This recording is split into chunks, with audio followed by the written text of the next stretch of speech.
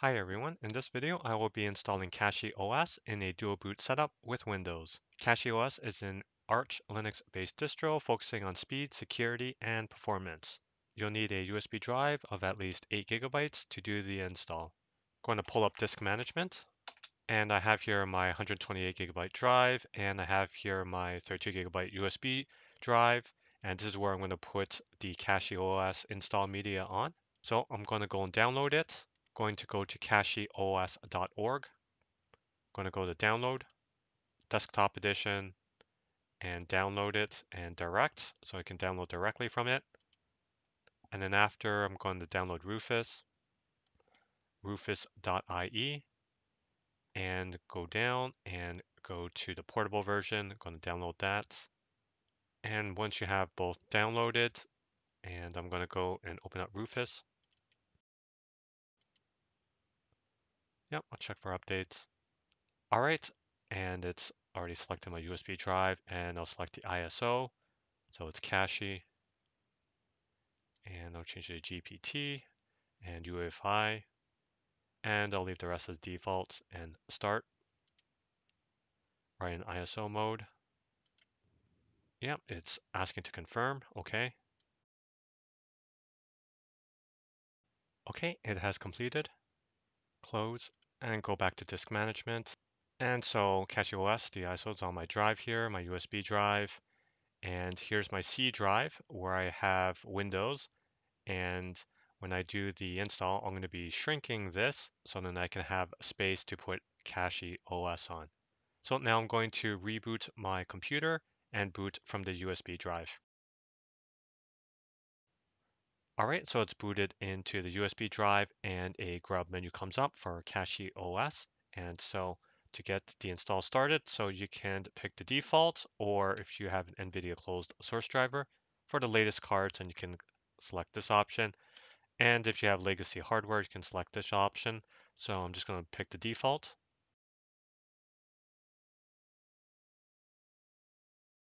All right, we're in CachyOS, and we got the welcome screen. Select Launcher Installer. Choose a bootloader. I'm going to pick Grub. All right, pick your language, American English. Next. All right, pick your region. Next. And pick your keyboard, English default. Next. And here under the partitioning, I'm going to pick manual partitioning. And I'm going to hit next. All right, I'm going to select my NTFS partition, 127 gigabytes.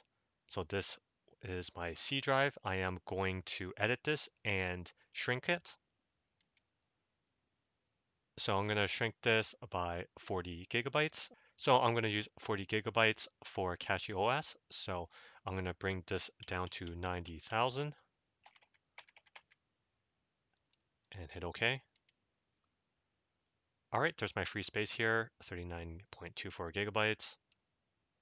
And I'm going to create a new partition and 512 megabytes. And this is going to be for the EFI partition, specifically just for CachyOS. File system is FAT32. Mount point is boot EFI. And we need the boot flag for this. Hit OK. And we see it there. And then next partition. And then I'm going to do 20,000. And this is going to be for slash home, file system ext4, okay.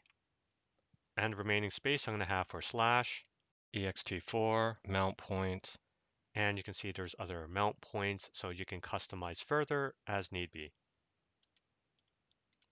Okay. All right, so there are my new partitions, and hit next.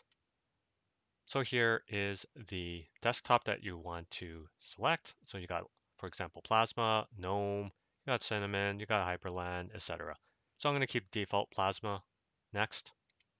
And here is for additional packages. And so I'm going to leave it as the default. Hit next. And here you fill in your name, username, name of your computer, and your password. And there's at the bottom here, login automatically without asking for the password. I will leave that unchecked and you can have it as to use the same password for the administrator account just to make it easier and then hit next. All right, and this is just an overview of everything that's going to do. So you can take a look over it and once ready, hit install. Install now. And so it's going to install CachyOS. And you can see the operation at the bottom, what it's doing. So it's currently resizing. And you can click on the button here and you can see the current progress. So this will take a bit of time depending on your computer and how fast your internet connection is. All right, during the install, you can go back between the pacman log, the package manager log, and the installer. And we see here that says that it is done and it has been installed on your computer. And you can restart now. So I'm going to restart. Done. All right, CachyOS grub comes up, which is good. And we can see that CachyOS is there, but there is no Windows. So we're going to fix that. Go into CachyOS Linux. Going to log in. All right, and there's the welcome screen. You can close that. And go to the application launcher, go to system, and we're going to go to the terminal, which is called console. All right, so I'm in the console, and the first thing I'm going to do is going to sudo in, your password, and I'm going to vi into the etc default grub file.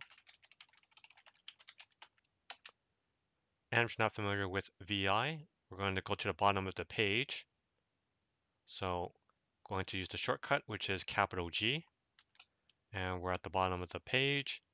And then going to go up one line. It says here grub disable OS prober equals false. So we're going to hit X. So we're going to remove that comment at the front there. And so it's been removed. And then we're going to hit colon WQ. So this will write and quit. All right. And so changes have been made. And now we're going to type in os-prober. So it's going to probe for other OSs. All right, and we can see here that it has found Windows Boot Manager, so that is good. And now we're going to make a new grub file which will include the Windows Boot Manager there. So make config and then boot grub grub.cfg. All right, and we can see that it has included it, so that is good. And now we're going to reboot. All right, so it's rebooted and we see here CachyOS and also as well as the Windows Boot Manager. So we can dual boot between the two. So just to confirm, going to boot into Windows. All right, so it's booted into Windows as expected. So that's it. That's how you can install CachyOS in a dual boot setup with Windows. I hope this video was useful and I thank you for watching. Bye now.